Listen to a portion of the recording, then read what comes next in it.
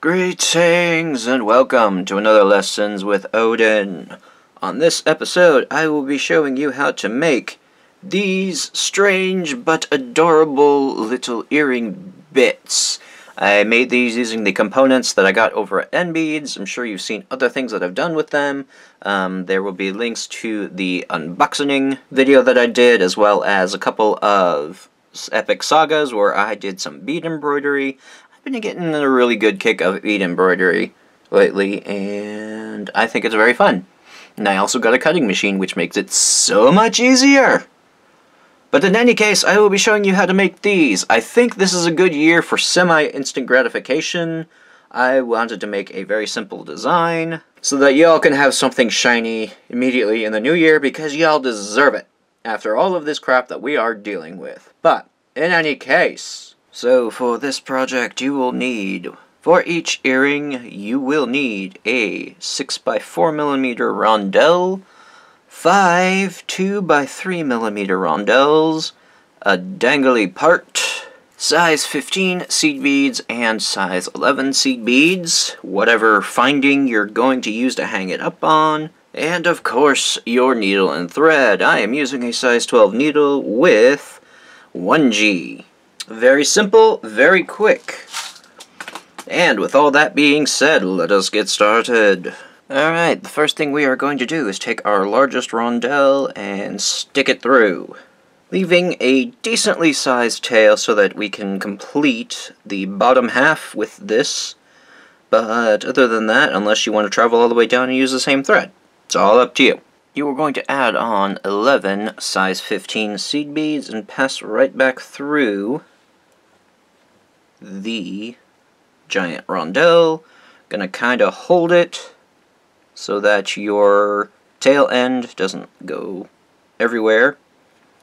Gonna pass up through all of those seed beads so that we meet the tail end. Tie an overhand knot with your tail and your working thread so we don't have to worry about it coming loose. And I do not fucks with stop beads pass back through the rondelle. We are going to pick up four of these size 15s, add on a 15, a small rondelle, and a 15. Pass back through those four beads again. So that kind of sits over there. Pick up three more size 15s. Add a size 15 and a small rondelle then go back down through the previous single size 15 next to the rondelle. Go back through the three size 15s. Go through the last four size 15s. Pick up a size 15 and a rondelle, then pass back through the previous rondelle next to the one that you started from, I don't know if that made any sense, but you can see what I'm doing. No kittens! Squeak. Yes, you're cute.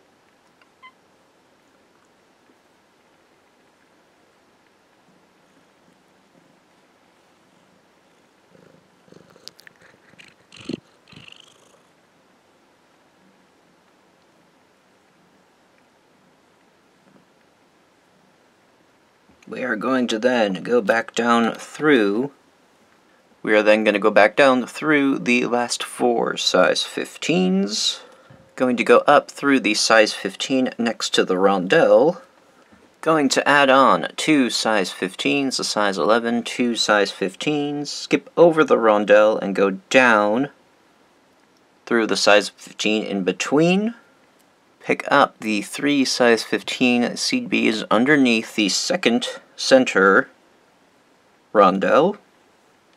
Go up the single size 15 in between the center and the last rondelle. Two 15s, 11, two 15s, go back down through the size 15 in between the first and the center and we're going to travel right through the next rondelle. Going to cheat a little bit and go up the single size 15 that's in between the center and the last rondelle. Two 15s, 11, two 15s, skip over the last rondelle and go through size 15 seed beads beneath it. Now we're going to go down and travel through four size 15s from the bottom row. Add on two size 11 beads. Jump across three size 15s in the center. Then go through the last four size 15s. And these will rest the size 11s on top of the rondelle. From here, I'm going to travel up through three size 15s Pop the point by skipping the size 11 in the center. So go through the three size 15s, skipping over the 11. So that makes a nice little peak. We are going to go through the next rondel up through three size 15s, skip the size 11 to pass the to pop the point through the next three size 15s, go back through the rondelle, and I'm going to start adding my bail here, so I am going to go up through the three size 15s, then the 11, so that I end up in the center. Then I'm going to add a pattern of a size 15, 11, size 15, 11, size 15, 11, and finally a size 15. Seven beads total with three 11s and four size 15s. I'm going to pass back through the size 11 bead. And I'm going to pop the size 11s by passing through the first size 15, skipping over the 11, passing through the next size 15, and that point will pop. Skip over the 11, pass through the next size 15, the 11 has popped, skip over the final size 15 and pass through the size 11 that we started from. Gonna make sure the thread is underneath, pull tight, and that is your bail. Going to go down three size 15s again, through the center rondelle, up through the size 15, in between the second and the last rondelle pass through the two size 15s that were on the flap above the third rondelle, pop the point by skipping the center bead, and going down the next three size 15s. One last finishing touch, go up through the next four size 15s on the very bottom row, go through one of the size 11s in the center, add one size 15 through the next size 11 so that it wedges in between. Go down the last set of four size 15s. If you have a long enough tail, you can end your working thread and put your needle onto the tail. If not, just continue by going through the rondelle, the biggin rondelle. I'm not sure, so I'm just going to be safe and use the long one.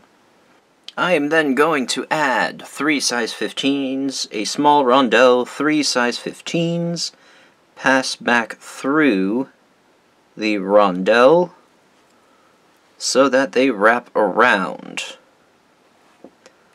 Then I'm going to move around again, passing through the three size 15s, the small rondelle, go back through the next size 15s, add on a size 15, a size 11, and a size 15, and we're going to pick up the size 15s over the gap of the on top of the rondelles, not the strand that's in the front, but the ones that are in the back and it'll kind of stick out like that.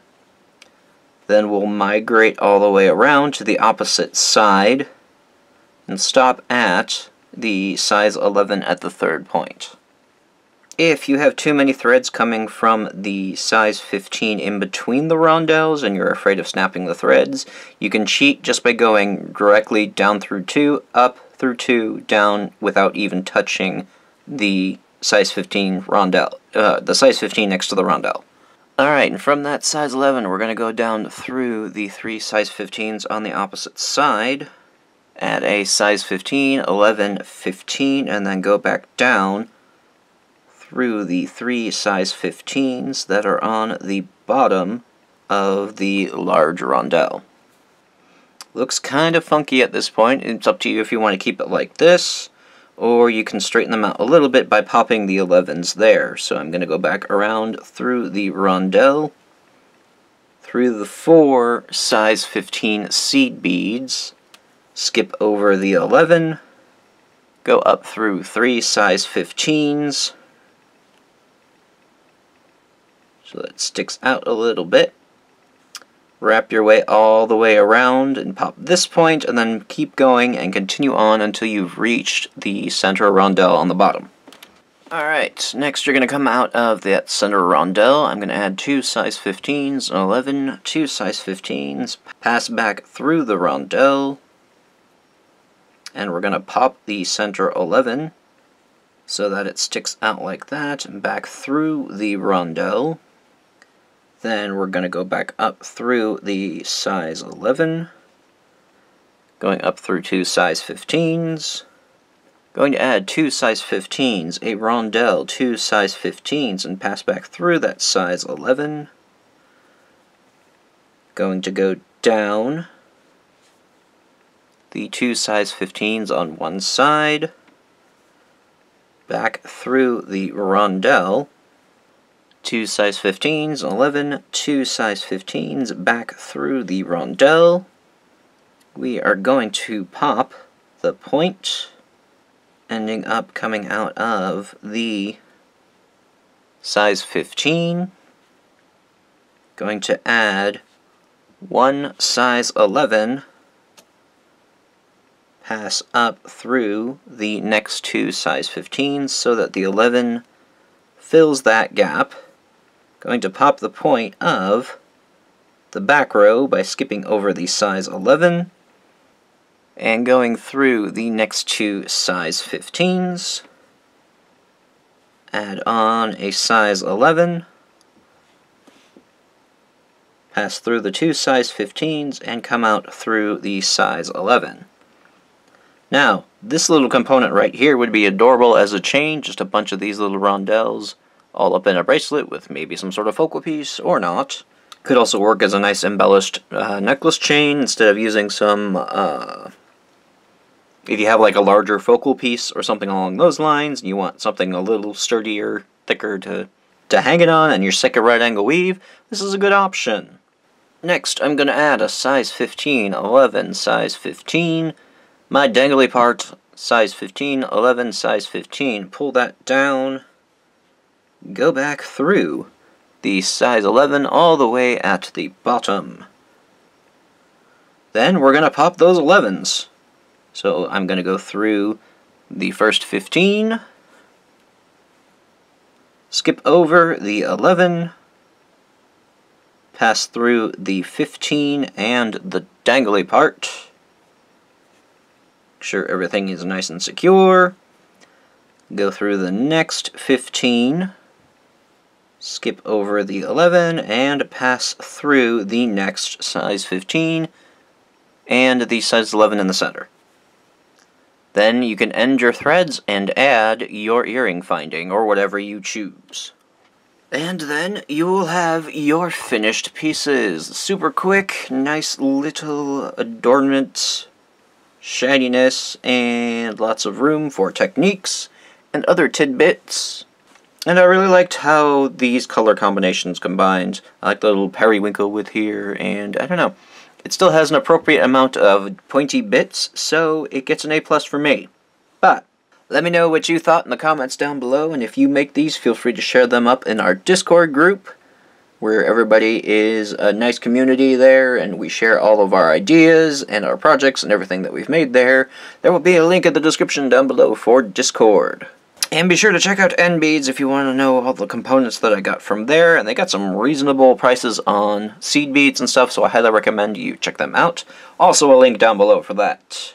And thank you to all of my patrons over on Patreon. You guys are awesome, and you help me keep this channel functional, so I appreciate each and every one of you.